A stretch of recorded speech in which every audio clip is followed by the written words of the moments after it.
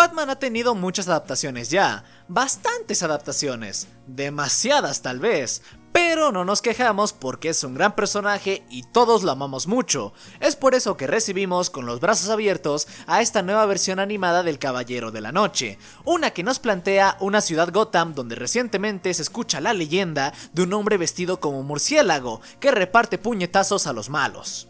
Tampoco hay muchos villanos por la ciudad, evidentemente hay crimen porque es Gotham, pero grandes nombres recién empiezan a surgir de entre las sombras, como el de la pingüina, que es la primera villana en confrontar a Batman. En este primer episodio podemos ver la inexperiencia de esta versión porque termina perdiendo ante ella, esta serie también saca el lado más detectivesco del murciélago, viéndolo perseguir pistas en el caso de Cara de Barro, es como tal un metahumano, vuelve más a sus fases principales, donde solamente era un asesino que podía cambiar la forma de su rostro. Como podrán ver, es mucho más terrenal este Batman, acostumbrado más a perseguir criminales normales como a Catwoman, combatir cuerpo a cuerpo y le quitan esta aura de ser invencible que tiene en otras versiones, lo cual me gusta, porque esto no quiere decir que ahora sea un pelele cualquiera, simplemente volvemos más a la idea de un humano dotado de disciplina tratando de proteger a su ciudad. La serie pareciera que se salta al origen de Bruce Wayne, pero no, inevitablemente llega el momento en el que deben hablar de la muerte de sus padres, viendo a Bruce en un psicólogo.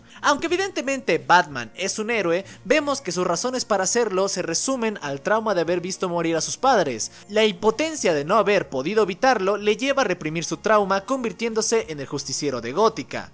Esto es importante porque nos muestran que, más que un ejemplo a seguir, Batman es un hombre que necesita ayuda y que a poco a poco pierde más humanidad al no escuchar a nadie, ni siquiera a la persona más cercana que le queda en la vida, poniendo en riesgo su propia integridad tanto física como mental, siendo obsesivo con cada caso que se le presenta.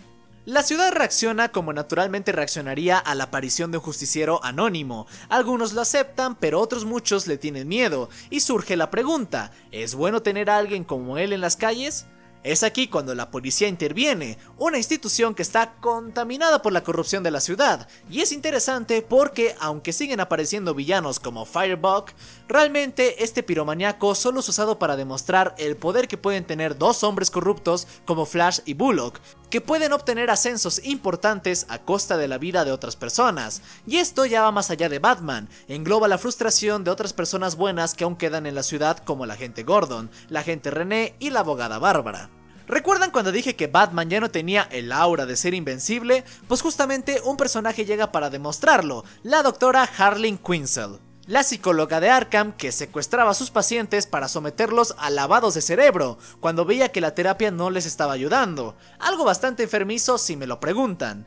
Pero esto también es algo que me encantó de la serie, poder darles un protagonismo real a ciertos personajes del lore de Batman. Ver a Harley siendo más que la compañera del Joker es buenísimo, siendo una verdadera amenaza que casi se deshace del murciélago en su primer encuentro, explotando el potencial que tiene el personaje y teniendo una profundidad que la involucraba con otros personajes de la serie. Mientras avanzamos, Batman se enfrenta a nuevos peligros, incluso con fantasmas, lo cual le quita algo de terrenal, pero la verdad el episodio está muy bueno.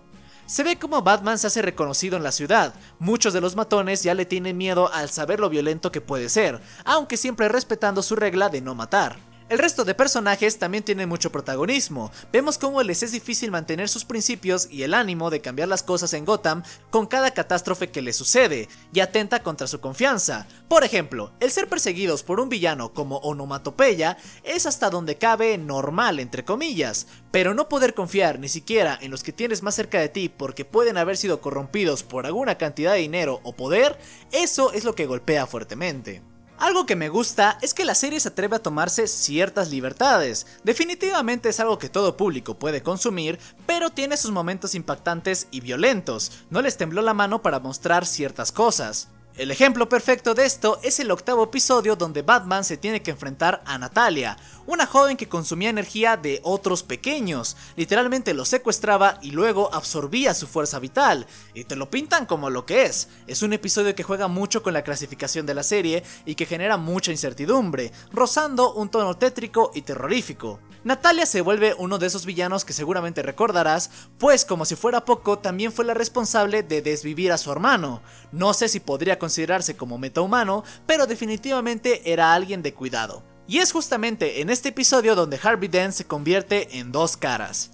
Harvey es un personaje recurrente en toda la serie. Vemos cómo gracias a su campaña política baila muchas veces entre la línea del bien y el mal. Es el fiscal de Gotham después de todo, tiene ciertas tendencias egocéntricas y problemas de carácter, pero seguía siendo un funcional servidor público. Hasta que, al verse superado por su rival político en las encuestas, decide acudir al malvado Thorn. Aquí lo curioso es que no es del todo malo ni del todo bueno. Puede ser permisivo con cosas que a su criterio son menores, pero cuando le piden ir más allá decide no hacerlo. Pero evidentemente esto le traería consecuencias, dañando su rostro permanentemente.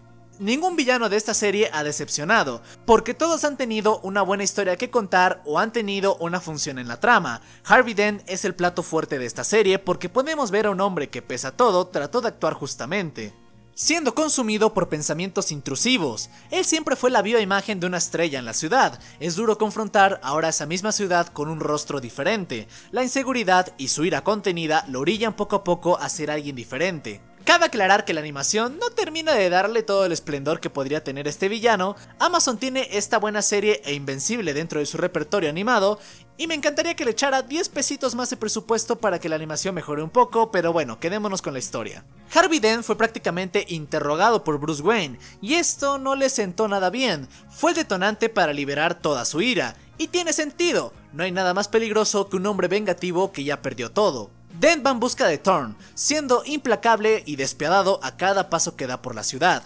Pero, aun con todo el daño que está haciendo, sigue teniendo vestigios del hombre que fue. Esto le hace dudar sobre lo que está haciendo. Como les dije, fueron varios sucesos lo que lo orillaron a tratar de hacer justicia por su cuenta. Es un hombre bueno que tuvo un mal día, recordando a la ideología del Joker. Batman finalmente lo detiene y ve a un pobre hombre que ya no se reconoce a sí mismo. Lo llevan a Arkham y el plan de Bárbara y Bruce es darle el mejor escenario posible, pues entienden el contexto en el que Harvey actuó. Pero en una ciudad tan corrupta como Gotham, era cuestión de tiempo para que la supervivencia de Harvey se volviera difícil, teniendo enemigos por todos lados, incluyendo a la propia policía. Aún así, Bárbara, Gordon, Montoya y Batman deben protegerlo porque con una declaración suya, mucha gente corrupta e incluso el propio Thorn pueden caer. Dent es algo escéptico ante este plan, pues no conserva ninguna esperanza en el sistema. Pero ellos cuatro son los únicos que pueden tratar de cambiar este sistema, de eso se trata la resiliencia. El muelle pone a prueba a Harvey Dent, lo que queda de su sentido por la justicia, que tanto de su venganza personal lo diluyó, pero termina demostrando ser una buena persona al salvar a Bárbara del disparo de uno de los policías corruptos, pero no es el único que se pone a prueba. Batman nos demuestra que ni siquiera enojado es capaz de romper su regla, la regla que lo diferencia del mal que combate en la ciudad. Esta noche termina siendo una derrota para los buenos, pues Dent murió sin poder declarar, pero no es un sabor de todo amargo el que les queda, pues también el sacrificio de Harvey les da un motivo a los buenos para seguir combatiendo y cambiar las cosas en Gótica, tomándolo como un mártir por el cual seguir persiguiendo a los malos de la ciudad. Y ya para finalizar esta espectacular serie, vemos brevemente a quien será el antagonista de la segunda temporada, el Joker. Esta adaptación de Batman, devolviendo al personaje a una escala base, me ha encantado. No me malentiendan, también me gusta ver a este murciélago cuando es capaz de enfrentarse a amenazas que van mucho más allá. Pero verlo de nuevo, siendo el protector de una ciudad corrupta y hostil, teniendo que enfrentarse a problemas como la corrupción y la constante desesperanza de que las personas cambien, es algo que disfruté mucho. La verdad creo que esa es la magia de estos héroes más callejeros, como Daredevil, Spider-Man y el propio Batman, verlos librar luchas que se basan más en la esperanza de gente buena queriendo cambiar su ciudad. Porque, aunque son de una menor escala a lo que estamos acostumbrados en el género de superhéroes, la realidad es que captura más esa esencia única y nos da historias así de grandiosas. Así que, un 10 de 10 esta serie, espero confirmen pronto la segunda temporada para poder ser feliz. Somos el dúo y esperamos que les haya gustado.